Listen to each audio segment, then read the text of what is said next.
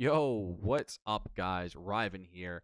Uh, we're going to be talking about how to take Streamlabs chatbot, put it together with OBS, and script it together. So you can add some different variety to your stream, add a little more interactivity, and maybe get some extra perks for subscribers, regulars, maybe some cool ban effects uh, for your moderators.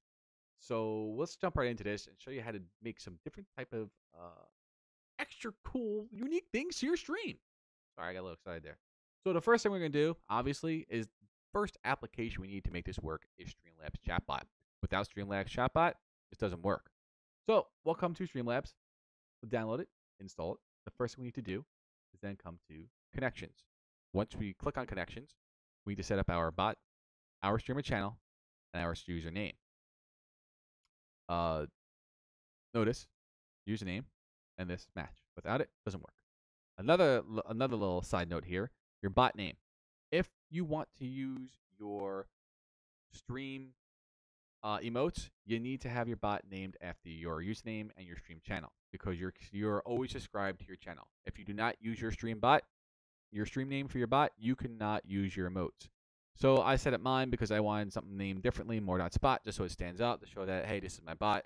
So I can't use my stream emote. I can't use my personal emotes unless I use my bot and subscribe to my channel, which I'm not going to do. Um, so moving on. Now that's installed. Oh, just a note, another note.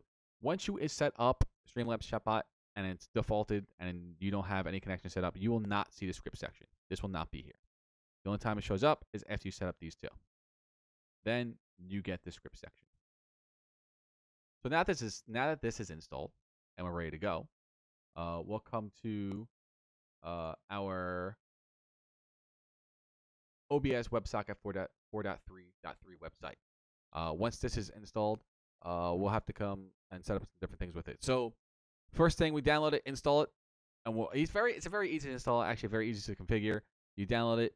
Uh, it's going to ask you to point to your OBS installation folder. You point to the folder. Done. Close out of it. Your sign off. See you later. Now we move over to Python. Python. Uh, oops. You come to the website you want to look for Python for a different uh, OS, use Windows. Uh, this is uh, as of this recording, it's 2.7.15. Uh, I'm going to leave a link in the description for you. Uh, the one that's working is uh, 2.7.13. Uh, uh, so uh, click on the link in the description to download that version. Install Python. Uh, remember where you have installed it because you're going to need it later. Uh, for me, I installed it in my eDrive program files Python 27, and the folder we will need is Python 27, uh, the lib folder. Uh, once we have that installed, uh, once we have that installed, we are ready to go on to the next step, which will be OBS.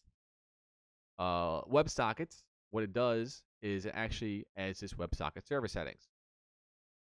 We'll say enable the WebSocket server.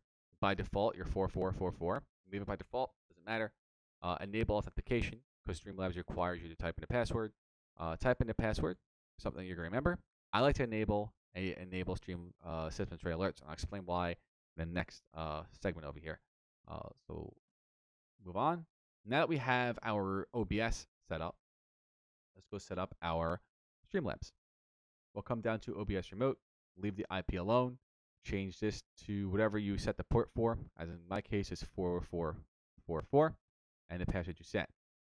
So now, uh, the system tray, the reason why I like to have the system tray open is if I open this by accident first, Streamlabs first, and then open OBS, I'm not going to get a system tray alert. What you need to do, and the way it's always is going to work, OBS needs to open up first, and then you need to open up Streamlabs. If you do not open up OBS first, it's not going to make that connection. This is your host. It needs to be running first. So this can connect to it. Once this opens and these two connect, you get your. Uh, I'll show you. I'll show you I'm talking about. I can't do that. There you go. Done. Right? Lost it. Disconnected. Yes. Once it runs and loads, you'll get this system tray saying, "Hey, connected." I like it just so it's like, okay, I'm connected. Just in case I click on Streamlabs OBS by accident, uh, it's never gonna make that connection between the two if OBS is not running first. Uh, so as soon as it loads, we'll jump right back into everything. Um, but that's a little little tip. Flip, there you go, connected. Now, now we have the hard part set up. We installed Streamlabs chatbot. we set up our OBS WebSocket. We installed Python. That's it, right? Now we have to uh, set up set up Python so we can import our OBS remote parameter. I'll explain how you get that next. So settings, uh, we're going to need to look for our 2.7.13 directory. Remember what I told you, remember where you installed it? You got to go pick folder. Yes, you want to navigate to your Python's installations library folder and click save. Example, this is what we're looking for. Go hit yes. Obviously, uh, remember I put mine in Perkin files, Python 27, libs. You hit save here, and that's it. Uh, this should already be here for you. Uh, the API key. If it's not, hit generate API key. Uh, I'm obviously not going to be showing that because some people could stick that and do nasty things uh, uh, against it. So now we have this thing called OBS remote parameter. This is the fifth thing that we need to use inside of, oh, sorry, the fourth thing that we need to use to connect uh, OBS and Streamlabs together. Uh, the where, the reason, the where, oh, to where download this, to get this, you're going to have to, it'll be in the description of the YouTube video. Um, but if you want to go looking for it, it's also in the Streamlabs Discord on the script section. And if you just go into the search box and search for OBS Remote Parameter, you can download it from there as well. Uh, but I'll leave it in the description for you. Uh, once you, we're gonna have to import this. Remember where you download it from. Mine was in the downloads folder. Uh, so I'll come and find uh, OBS. I'll open it, and so I click open, and that's it. I'm not gonna click open because I don't want to blow anything out, and make sure it is enabled. Don't worry about this one. Uh, that's that's a separate uh, command or script that I'm running. Um, and that's it. Now these two are connected. And now the fun begins. So now we're going back to OBS. And now what we need to do is start looking for and start deciding what we want to make for our um, sources and what we want to show up on stream. So say you're going to use your death counter. And when you die, you want something to pop up that's related to death. Or maybe when you're about to power up and fight a boss, you got Goku popping up uh, to do some cool animations and powering up, you know, Super Saiyan style. But there's a few different things you can do with it. I like to add sound files to my GIFs. Uh, so uh, I, I I find the sound files, I add them, give it a name. Doesn't need any votes to run. Make sure you lower this, please. Make sure you lower this. Uh, this will blow out your eyes because 100% is extremely loud. It goes up to 200%. It does not need to be that loud. I find 30 is a good number uh, to work. Find find the remember where you downloaded your sound files. I like to make something called like uh, Twitch Media, and I download all my stuff in there. Um, and then you can pre- preview it to see what it sounds like.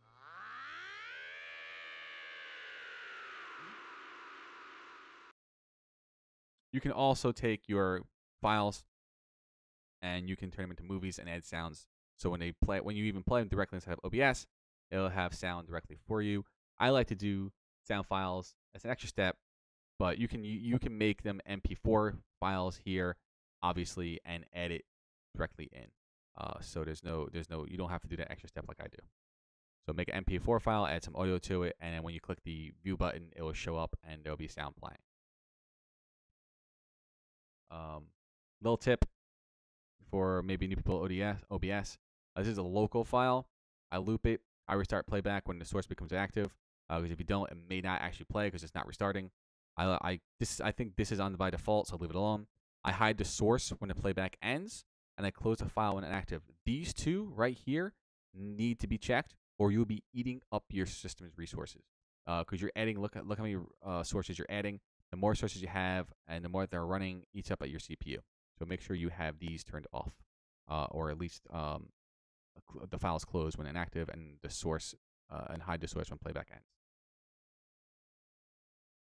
So now, now we add our source file, we add our sound file, we add our source. Now we come to commands. Uh, in this case, we name this command power. So again, name the command what you want. If you want to, you can actually have it cost something. So you can have like a perk for using uh, stream currency. Uh, what chat you're gonna send it to? You can send it to a whisper, both, just uh, all of them. Uh, yes, it needs to be true. It needs to be enabled. Uh, maybe you have them grouped out. Like if you look at my commands, I don't really have them grouped out. They're just kind of all over the freaking place. I need to do some cleanup with them.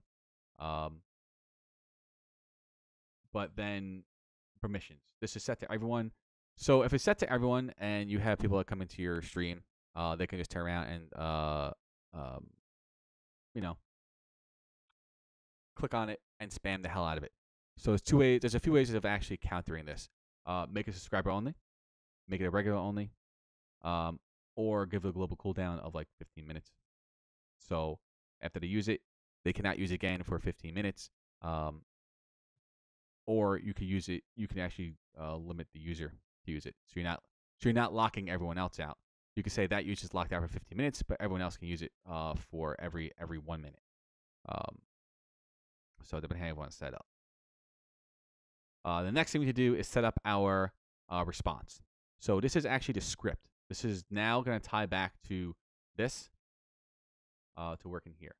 So what we're going to do, we need to type in uh, dollar sign OBS timed source. This right here needs to match exactly to your OBS source.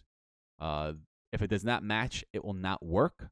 You'll get the sound, um, and you'll also get this. Like if I if I get rid of this exclamation point, uh, exclamation point, this quotations, and then I type uh, power, I'll get the sound because I have a because I have a sound file in there, so the sound file automatically work. But the the GIF I have in the source OBS file will not work.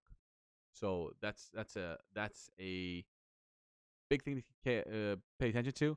Make sure all your quotations and all your punctuation match perfectly, and that your source is exactly named as it is in OBS. The next thing you also need to do is set a time limit for it. How long you want this uh, to last. Uh, try and match it up to what your sound effect is if you're going to use sound files, uh, or if you're making an MP4 with the video and sound in it, um, you're fine. If it lasts four seconds, make it last for four seconds.